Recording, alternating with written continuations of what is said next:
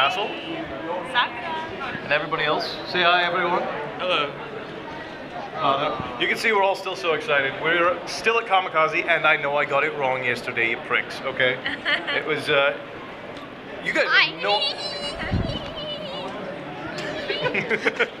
you guys have no idea how much stuff we do leading up to this, and these cons just blur together for me. You guys don't though. You guys are wonderful. Get out of here. Go away. I know they refer. We Get- refer to the cons as last year instead of last con. Get the get the get the get the bug spray.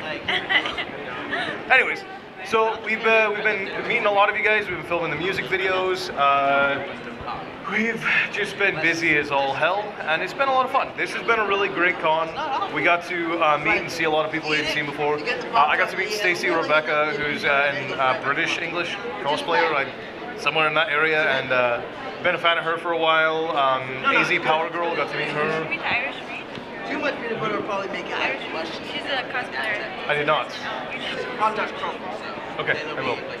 Um, and uh, we, of course, we stopped by. We saw with Leanne, uh, Leanna Vamp. We saw Nicole Marie Jean, some of our favorites. Our favorite. Um, we we did a couple of photo shoots with uh, Stefan Schweitz, who is a, a new friend of the nation, and uh, just overall, we had a really really good weekend. Um, we're hopefully we're, we're way behind.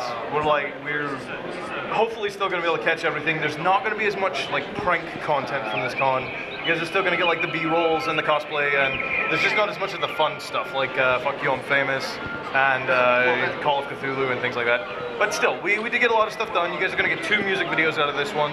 So yeah, uh, all is all, I, I think it's been a pretty good convention. So It's been fun, guys. thanks guys for coming out to see us, and there'll be more giveaways as the weeks go on. So just stay tuned.